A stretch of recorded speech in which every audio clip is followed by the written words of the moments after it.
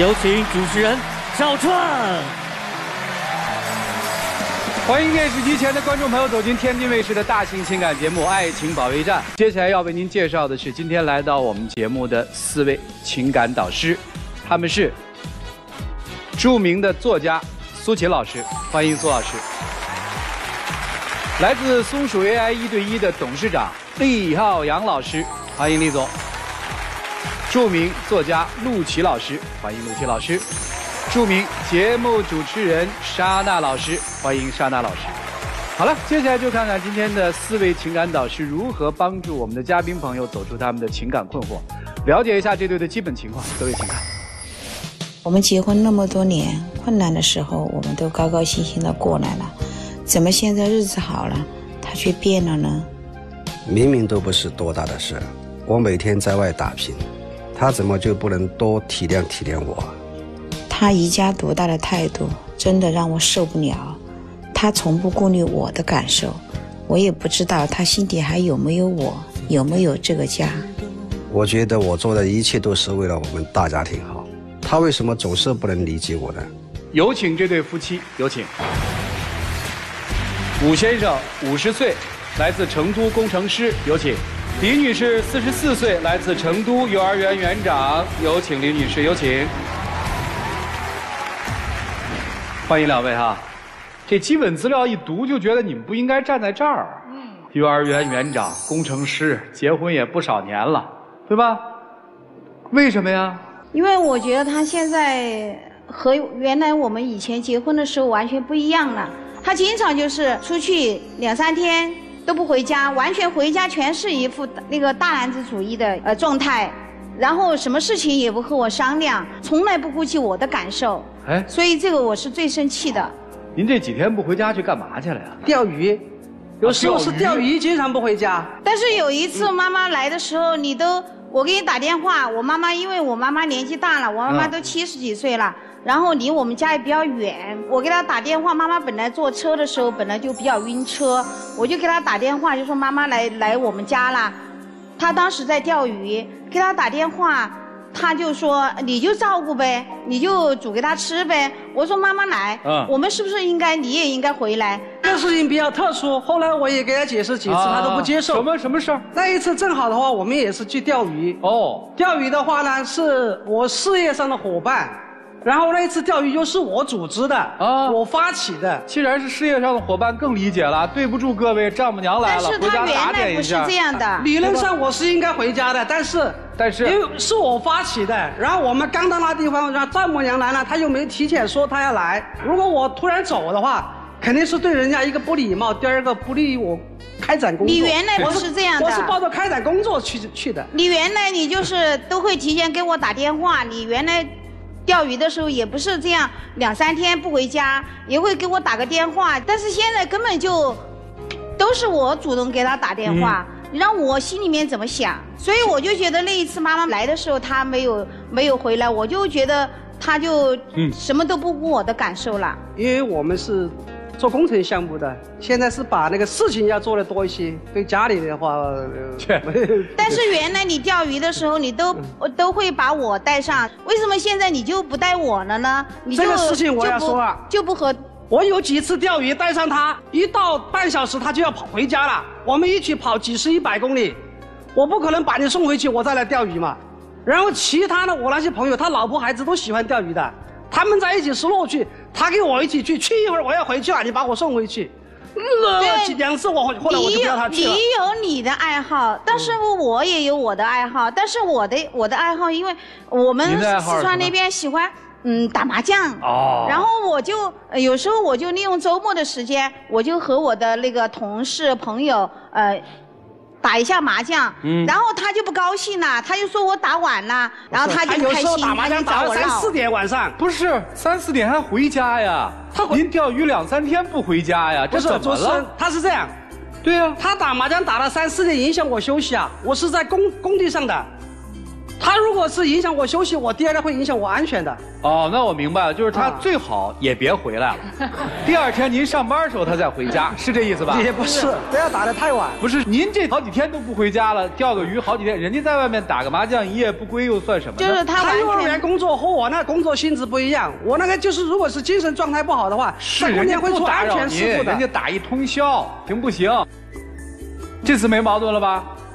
还有一次，主持人，我跟你说，他也是早上叫我给他熨衣服，那会儿也是我们幼儿园刚刚开学，嗯。因为比较忙，而且我也是幼儿园的一个管理人员，什么事情都必须要我亲力亲为去做。你。看人多谦虚，园长人说就是一哎，对，因为那会儿幼儿园确实刚刚开学，比较忙，事啊情比较多，然后我就把这个事情搞忘了，就为这个事情，他也吼我，真的让我受不了他。因为那一次会议是比较重要的一次会议，然后我到了早晨起来，他都没给我烫烫衬衫。不是会议那么重要，为什么不是自己熨呢？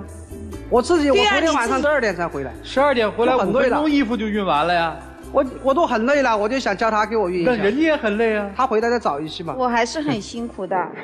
行，还有一个更气人的，哦最让我觉得最受委屈的就是，他头一天跟我说他有几个朋友要来，我说好嘛，朋友来了我们还是很欢迎的。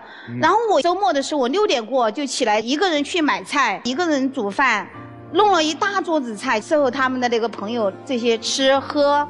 结果呢，朋友走了以后。家里面那个客厅里面全是那个乱七八糟的一些东西，但是他就在躺在那个沙发上玩手机，嗯刷新闻，从来不帮我。对你说我好委屈嘛？我也上班，我也在工。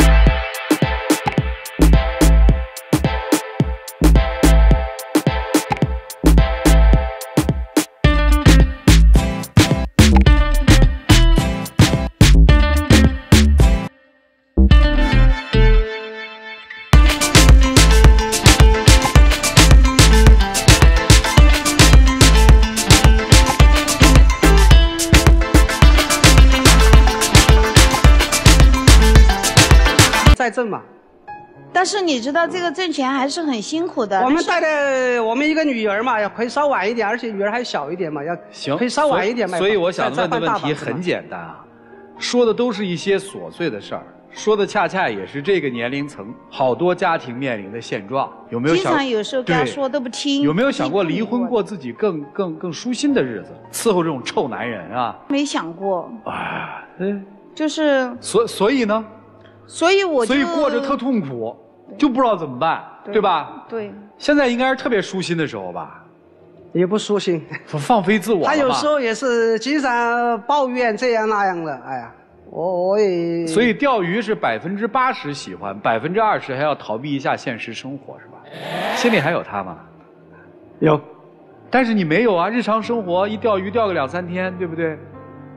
朋友来了，你能喝多你不管他，家里所有借钱、经济大事、什么大事你自己都做主了，没有需要他呀。我没有看到你对他的精神需要和所谓其他的需要啊，没有啊。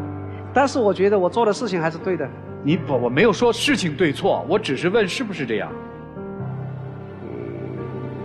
差不多。所以谢谢您的坦诚啊，这不是这一个家庭的问题，人家很多家庭都是这个问题。人近中年了，男人把自己的妻子看成是一个打理生活，那么多年过过来习惯的一个熟人，对吧？但是在熟人的背后，其实很陌生了。而女性在这个时候可能还在渴望，咱不说甜蜜如初，对吧？至少你得把我当个人呢，不要把我当成家里一个摆设和进物，对吧？对呀。你们听听老师，看看他们有什么想法，来帮助你们来调整一下，一起进入丘比特问卷。我一直有一个观点，我觉得其实两口子过日子，你说你们俩都在一起过了二十年，李总，你们攒这个二十万要攒多少年？嗯，之前我们那会儿很穷的时候攒了很久的，现在这几年好一点了。你们孩子多大？嗯，二十二岁了。那给你们的孩子买房子了吗？就是本来这个钱就是拿来我给我女儿准备，我们要换一个大一点的房子的。哦，就是你们还大个房子，然后一起住是吧？嗯。结果被他给。对。吴大哥，我们经常说大男子主义啊，在新的时代，他应该什么感觉？就是家里搞不定的天大的事儿，你能搞定；玩不转的很复杂的关系，你能玩转。结果呢？你看你的这个一上台，对吧？我们都是很谦卑的，你呢一直守在背着。你有没有发现，比我还趾高气扬？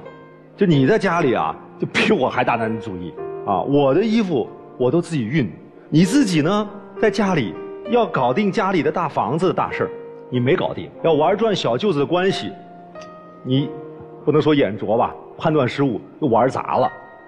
你有没有听过那首歌？叫我不做大哥很多年，不怕工作汗流浃背，不怕生活尝尽苦水。你呢？看起来工作挺惬意的，衣服还别人熨，对吧？然后在家里呢，你自己出去钓鱼了，也没有尝苦水，都没有关心一下。大哥最关键的那句歌词是什么？就是我不做大哥很多年。我害怕冰冷的床沿，懂吗？你再这样下去，你就变成老哥一个了。你自己有这个能力，你做大哥，对吧？人家是实力造就的，你没能力，你所有事情都整砸，你做什么大哥啊？你忙好自己的太太，忙好自己的孩子，忙好家，你有余力，你多给自己的妹妹都没问题，是不是？所以最后送你这个歌词：时光不能倒退。真心不能后悔，所以你想想，你的时光不要都放在钓鱼上，对吧？哪怕你陪太太打一两次麻将，真心让她感觉到。然后家里的事儿呢，我现在判断你不适合操持了，就看你这几手牌全打砸的样子。我觉得以后的钱一定要太太管，你说了不算，放掉大男子主义，不再做大哥，好不好？好，谢谢栗子。来，陆琪老师。我一直有一个观点，就做人呐，不管男人还是女人，都不能飘。你现在呢，真是有点飘。我看到你呢，我倒没想起歌词，我想起另外一首唐诗来。哟，叫“春风得意马蹄疾，一日看尽长安花”。这是孟郊啊，四十六岁中进士的时候写的。他那个时候中进士，要在长安的大街上游街，整个长安所有的漂亮姑娘都要来看，哇，谁中了进士？他坐马上特别开心，叫“春风得意马蹄疾，一日看尽长安花”，看的就是那些长安的姑娘。我后来想，他在看长安姑娘的时候，他老婆在干嘛呢？那个陪了他几十年、寒窗苦读的那个老婆在哪呢？他就去看尽长安花了。每一个人的心理地位，他一定是随着他的财富啊、事业啊各方面发生变化的，他是一定的。问题在于一个人能不能守住这样的变化。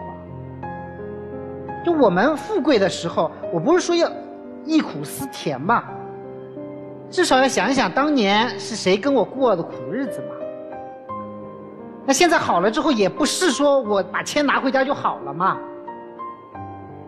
当年过苦日子的时候，两个人是怎么情感支撑的？今天我们有了钱，我们就不需要情感支撑了吗？你老婆？做园长，园长很辛苦啊。她有没有什么工作上的困难、委屈的事情？你有关心过她吗？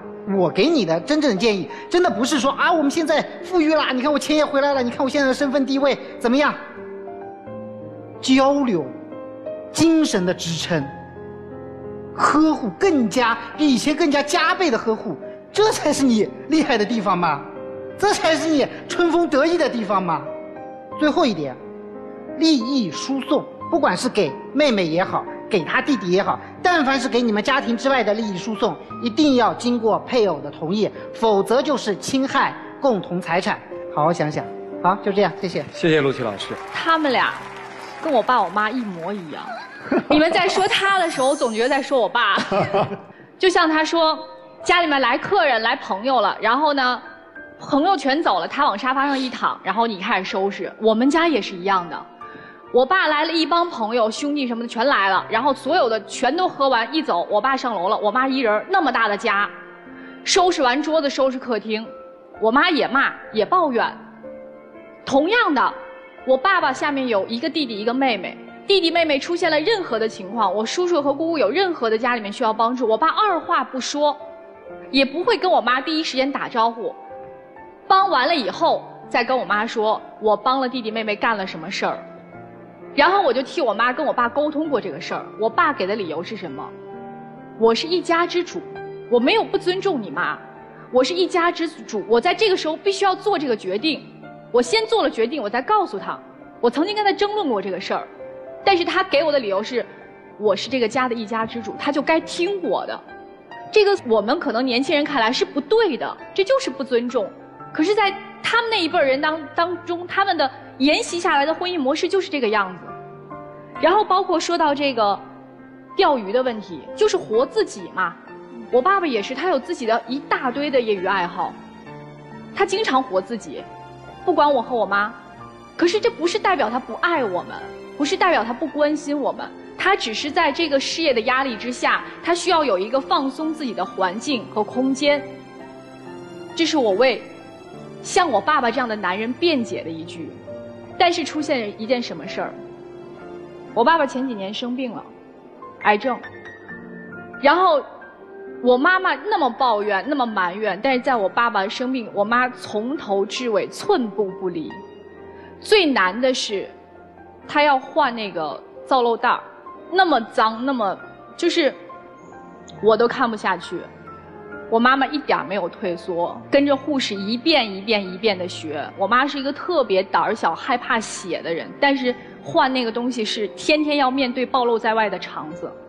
所以她一遍一遍跟护士学，怎么能让我爸不疼？怎么能把这个造瘘袋马上瞬间贴好，不让他受罪，然后保护好他所有的自尊面子，全部帮他把衣服整理的干干净净。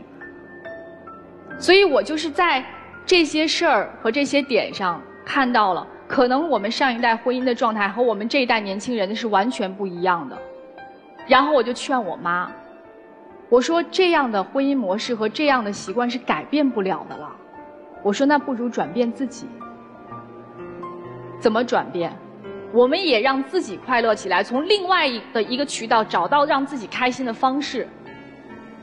如果我们改变不了天气的话，那我们就享受一蓑烟雨任平生的气定神闲啊。我们改变不了环境，我们就享受采菊东篱下的悠然自得。后来我妈就想通了，然后再加上我爸一病，他很多事情就看得开了。所以我觉得，可能对于这一代人的婚姻来说，我们不能用我们现在的很多的思维模式去硬让你们接受和理解。但是如果接受不了、理解不了，我们就想办法改变自己现在的现状，生活才会发生转变。谢谢。好，谢谢莎娜老师。三个问题，最后问一下。如果有一天你走不动了，谁会伺候你？老婆。如果有一天你真的走不动了，你会要谁伺候你？老婆。如果有一天你老婆走不动了，你也走不动了，你怎么办？子女。如果有一天你走不动了，你会让谁伺候你？老公。他会吗？肯定我要教他。一个连衣服都不愿意熨的人，他会吗？嗯，肯定我要教他。也就是说，你其实也相信他不会做，对吧？嗯。他有些不会做，啊，有些不会做。他不会做是吧？我们俩这个不会不要有歧义啊。我这个会是愿不愿意的意思。他愿不愿意给你做？他愿意。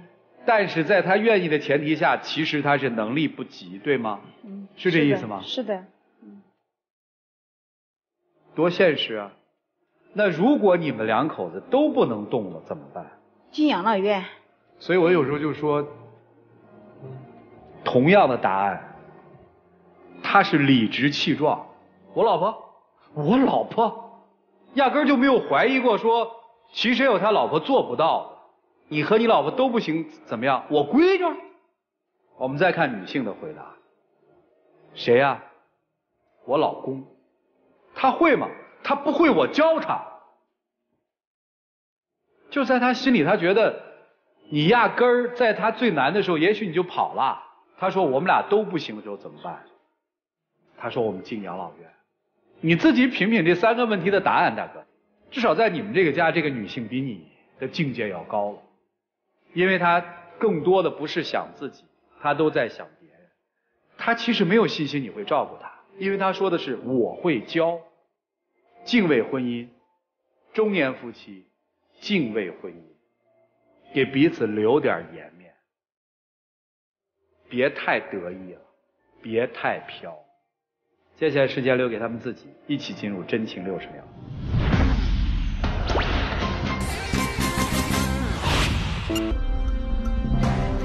谢谢两位啊，请回，请回，请回。来吧，看这对夫妻怎么选择，请开门。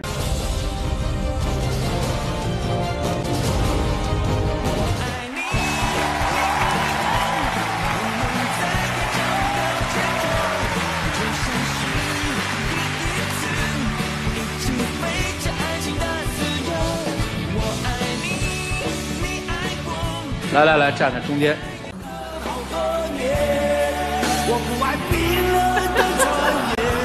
抱一抱一抱一抱抱一抱，我们拍一下，哎，对，抱一抱，拥抱，好好抱，好好抱。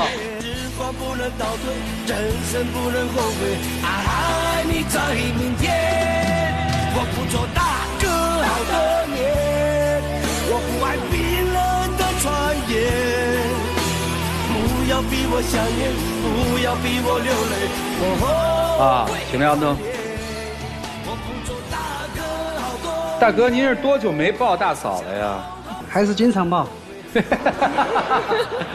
谢谢两位，请回啊。是。时光不能倒退，人生不能后悔，爱你在明天。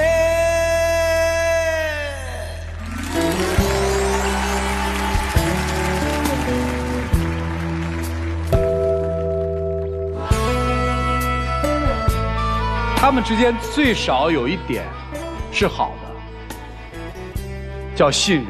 嗯，就至少人家老婆没说你不是去钓鱼去了，人家就相信了，就是去钓鱼了。来了解下一对嘉宾的基本情况，你看，她的闺蜜总是介入我们的生活里面，挑拨我和她的关系。我觉得她闺蜜这个人有问题。她总是看不惯我的闺蜜。逼我在她和闺蜜之间做选择，她的闺蜜后面越来越过分，可是她还是向着她闺蜜，我说什么她都听不进去，我是真的没办法了。她总是把我闺蜜想得很坏，我夹在他们两个中间也很为难。让我们有请这对嘉宾，有请。男嘉宾小怀，二十三岁，来自重庆，销售，有请小怀。女嘉宾小新，二十二岁，来自重庆，自由职业者，有请小新，有请。欢迎两位啊！听说是一见钟情在一起的是吧？是的。在什么场合一见钟情的呀？就是在我们公司楼下的餐厅。当时我们同事跟我说，后面有一个特别漂亮的女孩，然后我就去去看一下她，我就心动了。然后呢？然后后面还是我自己一个人主动过去找他拿的联系方式。怎么去拿的联系方式呢？就跟他搭讪呗，就是美女加个微信呗。真给了？没有，当时我跟我闺蜜一起的。哦，然后闺蜜说给他吧，给他吧，还是你要给的？她看起来挺老实的。老实孩子敢问人要微信啊？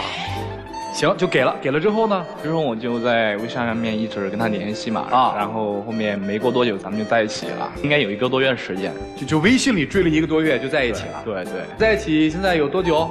一年多了。今天是因为为闺蜜而来，是吧？对，就是平时她闺蜜跟她关系太要好了，就是好到一种程度是什么呢？就是我跟她约会吧，嗯，她闺蜜总像个电灯泡一样从旁边。她也不是每次都去吧，就那段时间她失业了嘛，挺无聊的，然后他希望我带着他玩呗。呀，你的心可真大，姑娘哈。行，咱往下听啊。然后每一次约会就是，就特别尴尬，我觉得吃饭还有什么买些饮料的钱，就是我来付吧。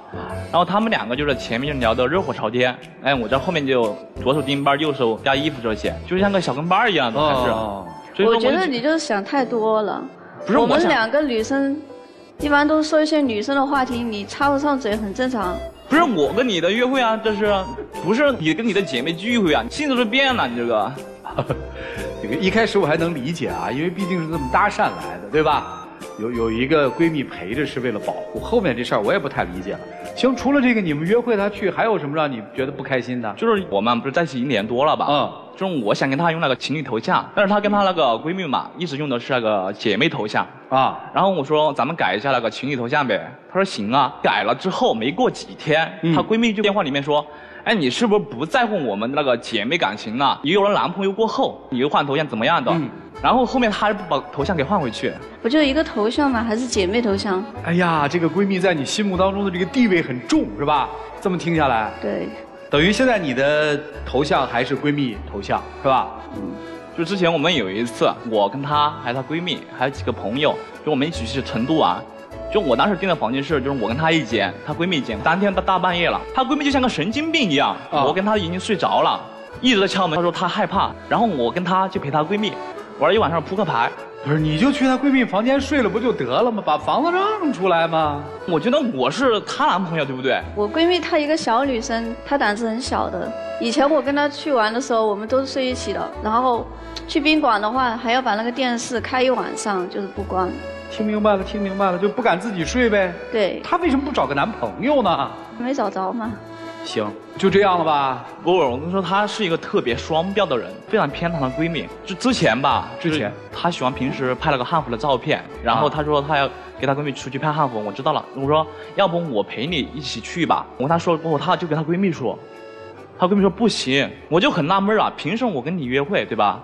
你闺蜜也来呀，我也没让你闺蜜不要来呀。当时我闺蜜想的是，我们拍汉服是跟一群汉服圈的人一起去的，然后你又不懂汉服，你去的话可能会忽略你，然后跟你聊什么你也不感兴趣，然后你也插不上话。这是我闺蜜也你闺蜜是为你着想？我闺蜜也是为她着想啊，这是你闺蜜想的，不是你想的，是吧？我也是这么想的。哦，还有别的吗？孩子，双标就逛商场，你跟她逛街，对，嗯，然后就是走到途中的时候，她闺蜜打了个电话进来，就问啊。她在干嘛，然后她说逛街，她闺蜜来，她马上就那种小开心的那感觉还有点儿，然后后面我们就在商场里面啊。就等她闺蜜等了一个半小时。啊，但我就想问，就我之前公司上班的时候，我叫你五点钟来等我，就因为当天的时候我因为公司有点事儿就延迟了一个小时，他说，哎我先走了，凭什么你等你闺蜜可以等一个多小时，你等我却不行？我闺蜜是坐地铁来的，我算了一下时间刚好一个小时啊。我等你的那天，我等了你半个小时，我在你公司楼下。我当时是低血糖嘛，就是不吃饭会晕的。这个，我我我我这么一琢磨，还有点意思啊。就你跟你闺蜜从这男生不适应谈恋爱有一个灯泡，到现在她不仅适应了，还吃醋，你们发现了吗？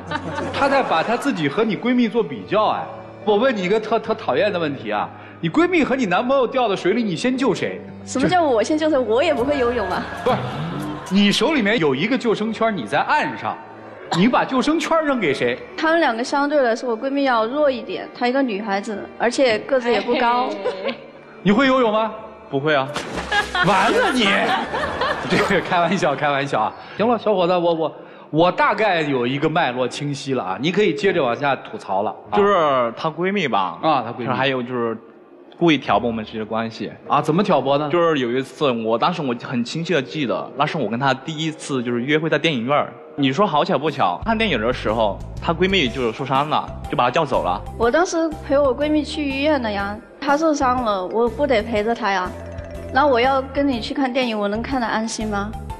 不是你闺蜜受多大的伤？就是脚崴了一下。脚崴了一下，她自己不就去医院了吗？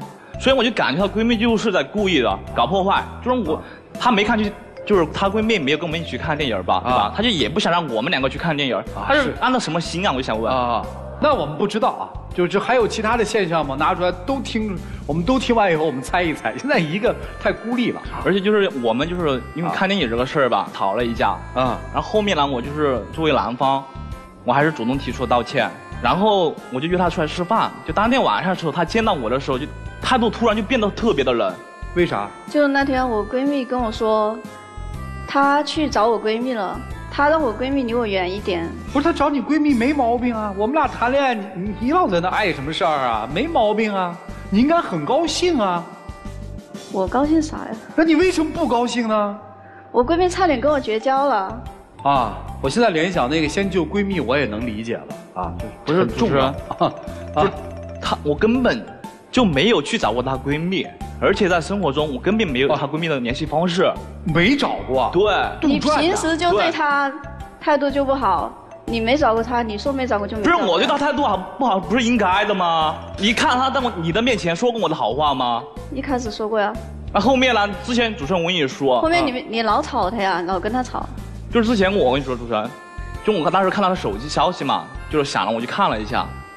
就看到闺蜜说句什么话，她说你男朋友的占有欲怎么这么强？当时我就觉得挺纳闷的，我说你一个闺蜜就说什么话在说些，然后我后面把她手机拿过来看那个聊天记录，我就发现原来前几次我跟她闹矛盾的时候，她闺蜜就一直在旁边劝分不劝和那种。我当时跟你吵了架，我肯定心情不好啊，然后我就跟她诉苦了一下，然后她就帮我一起吐槽了一下你，然后吐槽完了，可能我就发泄完了就开心了，就舒服了，然后最后我们不是还是和好了吗？不是你，你吐槽我，你在意我吗？小伙子问你呢，你在意他吗？在意。啊，在意，在意，在意。啊，你闺蜜在意他吗？我闺蜜其实挺想跟我们融洽的相处的，但是你们老是有一些矛盾。她闺蜜就是做的最过分的一件事情是什么？嗯，当天她生日，头天的时候我跟公司请假，为了就是陪她过一个好的生日，准备带她去游乐园玩。结果她闺蜜我不知道又发什么神经病，然后说，哎，我心情不好，就咱们去喝酒吧，就叫她去喝酒。然后晚上八点过的时候，我又催我说你早点回来，别玩太晚。十点过的时候，我又打电话催她，我说你早点回来，别玩太晚。直到十二点的时候，我真的太担心她了，因为酒吧吧两个女生，我特别担心她，所以我就说，哎，我过来找你吧。后面她把那个地址告诉我，我就过去找他们，就发现他们两个在那酒吧的门口坐着，然后说后面把她闺蜜送回去。结果我把她闺蜜送到他们家门口的时候，她闺蜜抱着她哭，说了一句让我很气愤的话：“她以后我要是找男朋友，如果不能接受我闺蜜的，我一定跟跟这种臭男人分手。”我当时心里面在想，这不就指桑骂槐吗？但是我没有发作，我也没有发火。我知道你明天生日，我不想在你面前有任何的情绪。哎呀，委屈死了这小伙子啊！我跟他没谈恋爱之前嘛，我闺蜜就说要找一个能接受。闺蜜的男朋友，她这个想法你接受吗？我接受。还想接着谈下去吗？行。未来的生活就是有这么一个闺蜜横在这儿，还要谈下去吗？我会接受不了。我问的其实问题很简单，就是我们都会有自己的朋友圈子，对吧？嗯。当你的朋友影响到你爱情的时候，你选择爱情还是选择朋友？这两个我觉得，现实就是很冲突。你闺蜜看不上她，她看不上你闺蜜，请选一个。我觉得她把我闺蜜当成那种敌人了。我们现在不是在谈一个幻想状态，说当友情和爱情出现冲突的时候怎么办？现实就是这样，你们的友情和爱情之间出现了冲突，让你选择，你会选择你的男朋友还是选择你的闺蜜？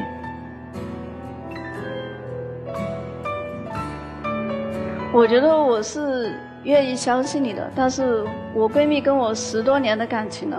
你觉得真的有一个闺蜜天天劝自己闺蜜跟自己男朋友分手的吗？她是你闺蜜啊，我觉得就是唯恐天唯唯恐天下不乱，你知道吧？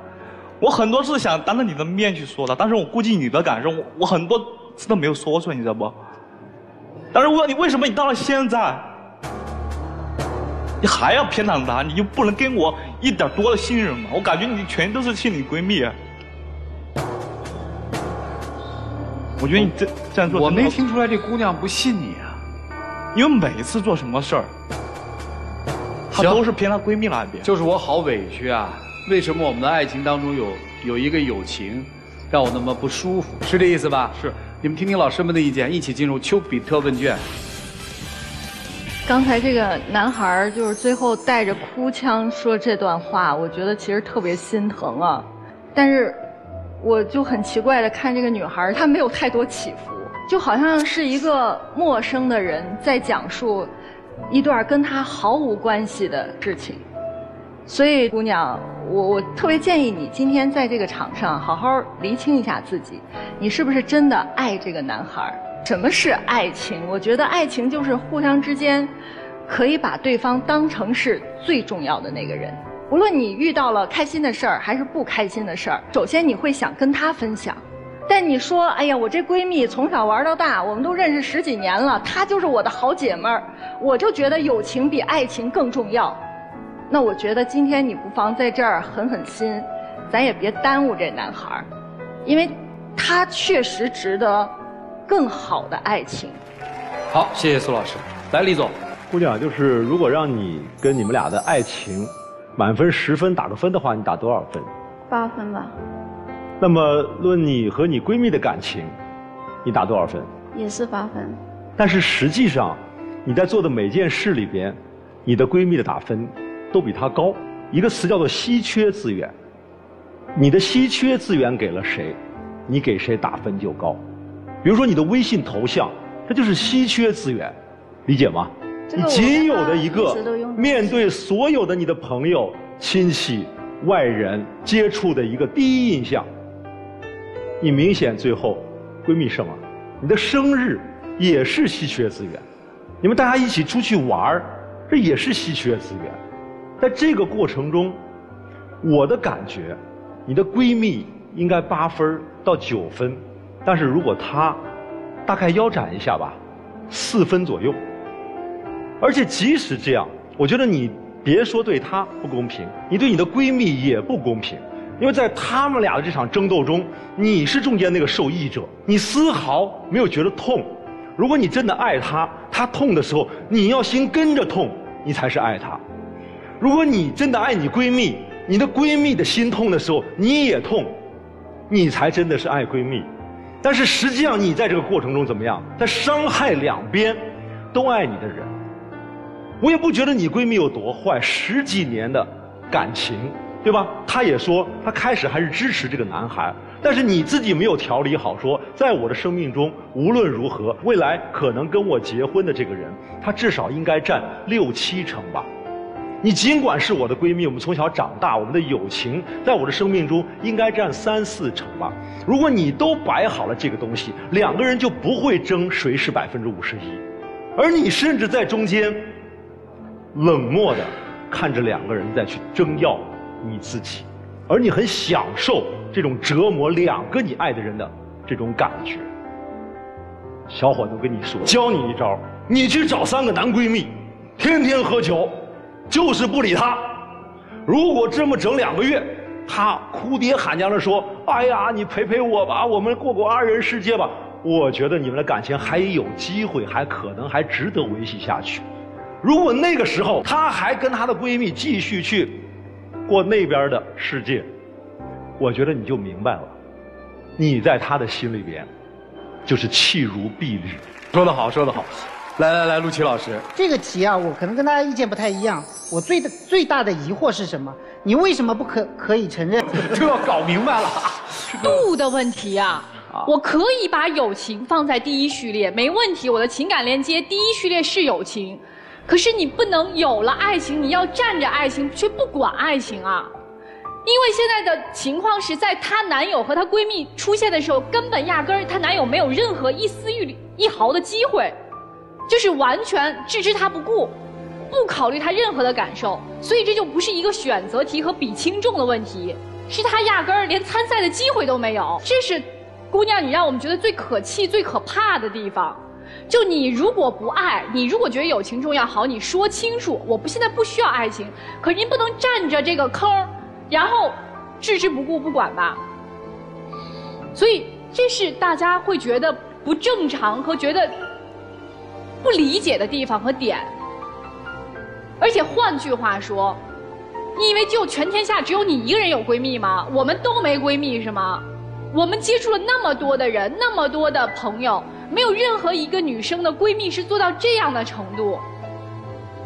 你们的世界还不够开阔。有一个问题，我觉得这个问题很可怕，就是说这个两套说辞的这件事儿。她说她没去找你闺蜜，你闺蜜说她去找她了，这里面肯定有一个人在撒谎。如果是她撒谎，我觉得不可怕，因为她撒谎的话是。她去找了你闺蜜，这是正常的，因为她要维持你们两个人的感情。但如果是你闺蜜撒谎的话，你闺蜜人品有问题，她为了达到目的不择手段，这样的闺蜜你敢放在身边吗？我觉得都不要提闺蜜这两个字，是在玷污闺蜜这个词儿。她有真正的设身处地的为你着想过吗？她的目的就是你只许有友情，不可以有爱情。我为你以后不嫁人不结婚了吗？我们可以。选择任何一种感情作为人生当中最重要的那感情没有问题，但是人要厚道，厚道在于，既然你同时选择了他，你要对他也负责任。闺蜜陪你哭，陪你笑，陪你闹没问题。闺蜜真正的朋友是什么？随叫随到。你不需要我的时候，我永远不会打扰你，不会出现在你的世界。但只要你需要我，我会随叫随到。闺蜜是什么？闺蜜是，就算你有了男朋友，冷落了他，她也会为你鼓掌叫好，因为希望你幸福。闺蜜是什么？闺蜜是她知道你所有一切的丑事，但是绝对不会在外人面前把你这些丑事暴露出来，因为她要维护你的面子。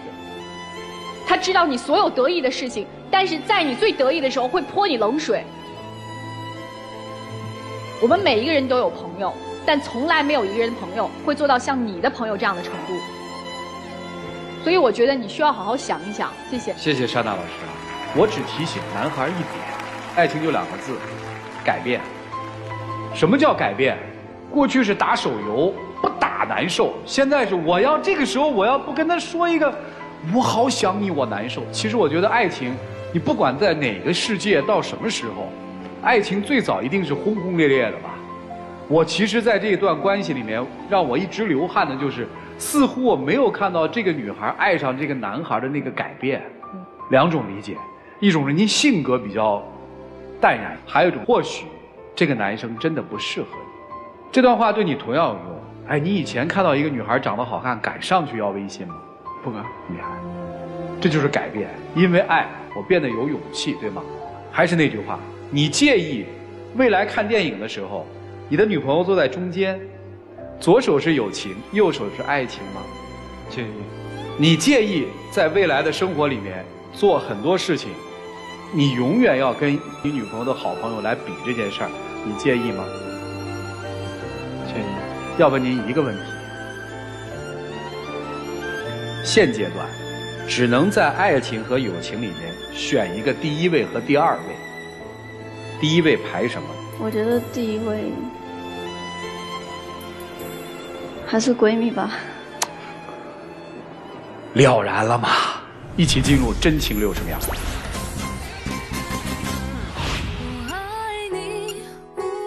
其实